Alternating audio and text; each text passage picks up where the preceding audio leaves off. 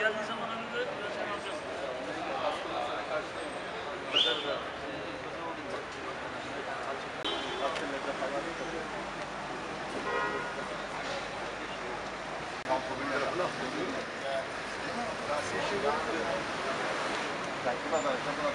İkisini yıktığına göre bir şey var. Öyle ya.